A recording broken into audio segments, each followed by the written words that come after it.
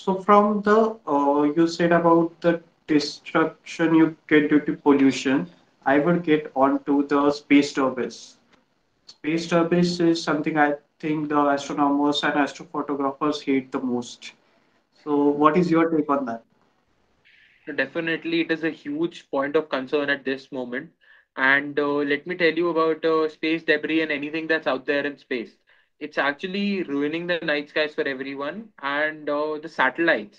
You know, if you are out at a dark location, you can see hundreds of satellites moving over your head in one or two nights. Like every one hour, I could I can easily spot five to six satellites going over my head.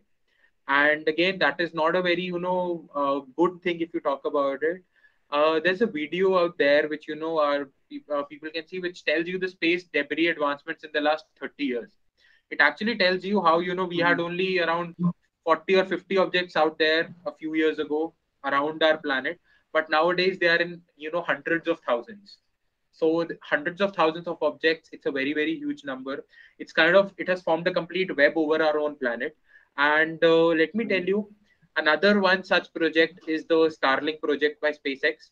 So Elon Musk and SpaceX, they actually planned to put up. Uh, they they're actually uh, already going ahead with that. They're putting up 50,000 satellites out there to provide a global internet connectivity.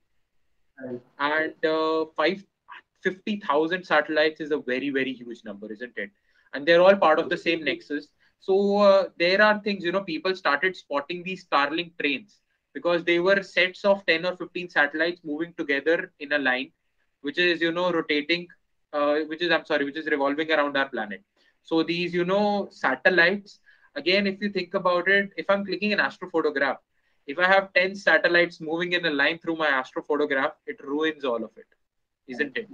It's, it feels like someone took a scale and a pencil and they put 10 lines in my image or it looks like something i've done in paint deliberately. So that, of course, it kind of ruins an experience for astrophotographers and about astronomers also. Space debris is a huge concern because the number of satellites at this moment, we are increasing the frequency of satellites that, that, that we're putting into orbit, isn't it? With the increasing number, it's always a risk that, you know, uh, we are putting out there. And uh, recently, uh, in the month of February or March, I think, in the month of March, uh, there was a part of a, you know, Chinese rocket which basically went on and collided with the moon.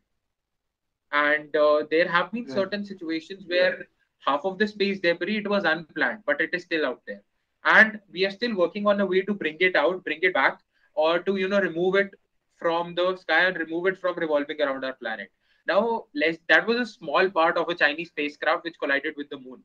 Let's just say, in case that was a bigger part, that would have caused a couple of earthquakes on the surface of moon and we are putting everything into the danger with the space debris and of course people are working on various projects one such projects even a couple of my you know batchmates they've been working on the same project right now to remove space debris and they've been formulating ways to bring down the parts uh, most of the parts that we know of that formulate the space debris they're metallic parts but some of them are even ceramic parts so it's again it's a huge question of how do you bring in ceramic parts back to the you know planet? How do you dump them? Where do you bring them? So yes, it is a huge huge concern, and uh, I'm really hopeful the way things are going. In the last three to four years, there have been many many research papers coming up on space debris, and I'm sure in the next five to six years something would turn into practicality, and we'll be able to you know work on the space debris part and basically reduce that, and that is very very important at this given moment of time.